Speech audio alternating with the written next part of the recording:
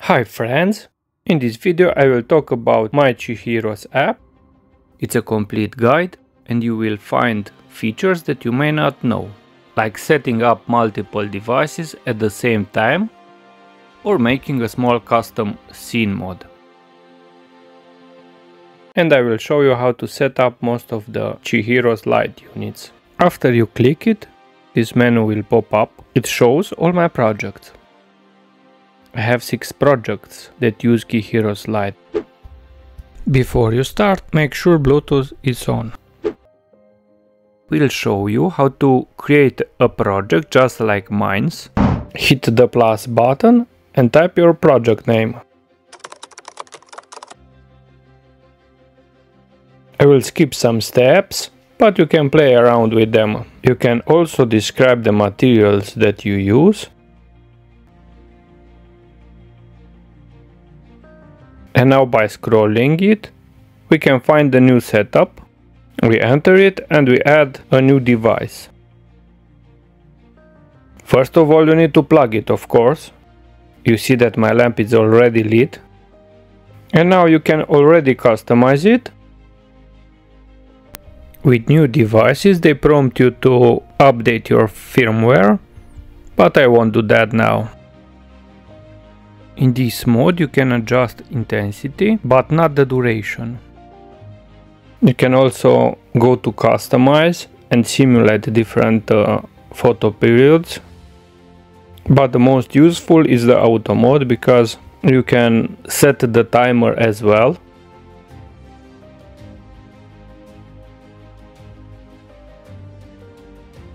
you can use a sunrise or a sunset effect of desired length.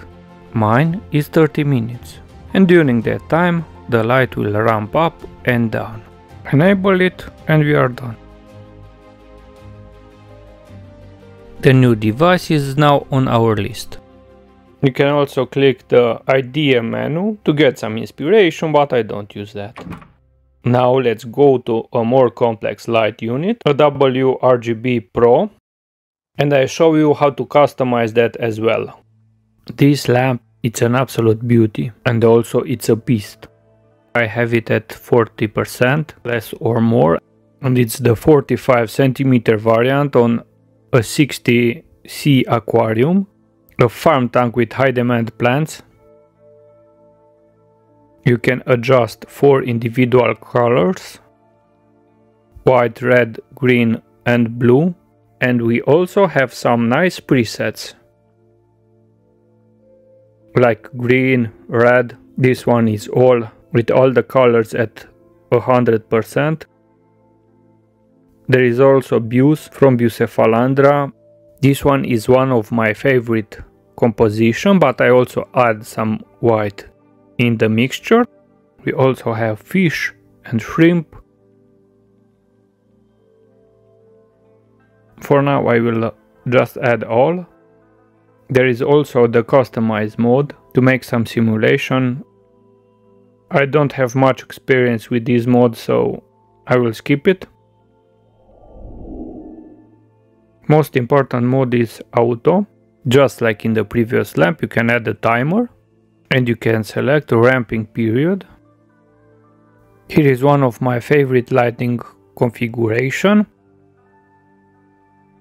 This is how I kept my vivid lamp units. 115% blue, 105 red, 95% green and 90 white.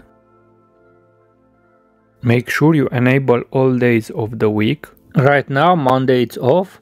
Let's press it. This is how it should look when it's activated. When you're finished, you need to enable your automation and you can also add another one. Will be a dim purple light. We save it and we enable the second automation as well. And now when the first light turns off, the second will come up.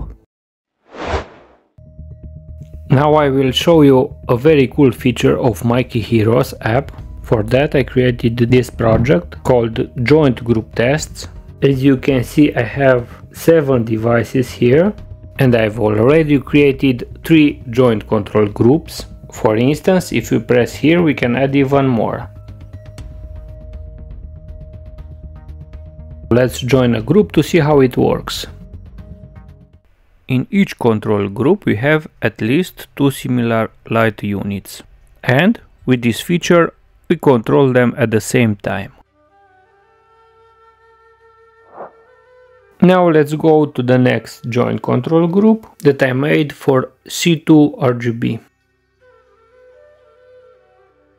I have two of them as well and if I play around with the joint control group you see that both of them are reacting at the same time. In RGB light units, the colors are mixing together and the result is a white light. So we have this kind of control as well. We can play around with the color temperature.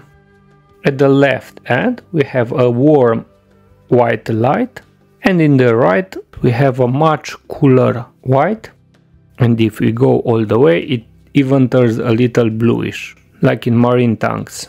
But for now I will turn this one off as well. And I will go to the last joint control group. This one is for WRGB Pro. You see that I have three units there. But unfortunately I can only pair the same length light units. I cannot pair up the 45 with the 30 centimeters one. but in this last group the two 45 centimeters one are paired up so I can control them together. For this video I just demonstrate the manual mode but the auto is also available.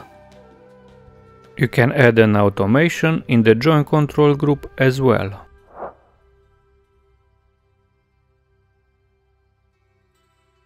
When you're done, save it and apply it.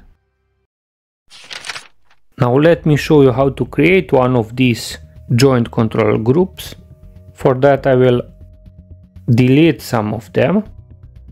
I'll actually delete all of them. I can only see the devices listed here. And let's make a new one. They suggest you all the 7 units that you have. So let's pair them up. Let's say that we pair up the C2 RGB. We have a joint control group with C2RGB. You can see the two Bluetooth sign here. Both of them are connected and now we can control them. We can only pair the same unit types. We can't pair a C2RGB with a A series or with WRGB. You see, if I drag the 30 centimeters one, all other units disappeared and I can't finish the process it gives me this error. For A series we can join different length units, but for WRGB Pro we can't. Hopefully future software updates will fix that. Another great feature, the scene mode. You press here to add mode and what it does, you can add a pause in your photo period or you can add an additional lighting for instance, if you want to make a water change, let's say that I need 40 minutes for the water change, I add it,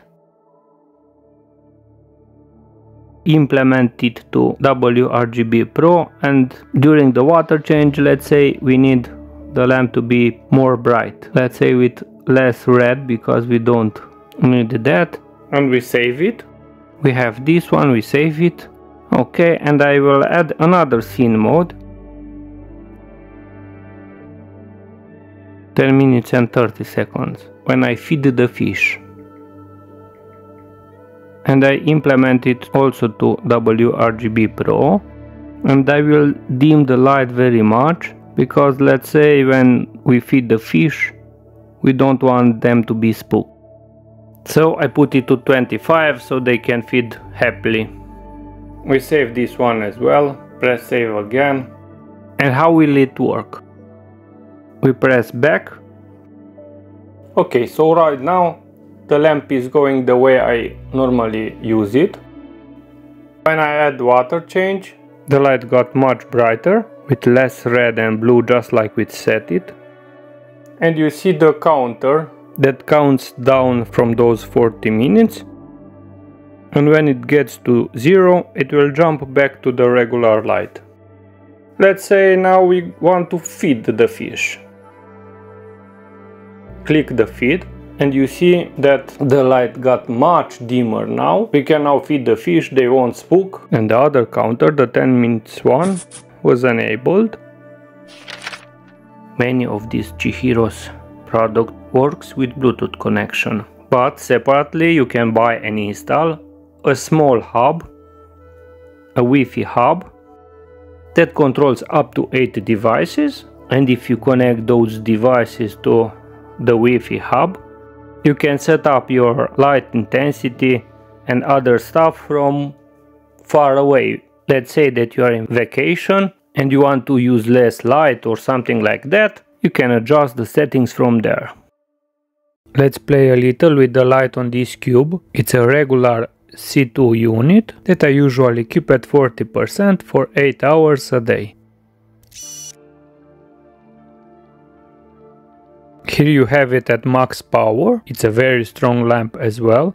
Now at only 10%, top view at 10%, 50, now back to max power, 100%. This was just a quick demonstration, a very nice lamp as well. Let's bring it back to 40%. And if this video was useful to you, press the like button and check out the build video of this cube.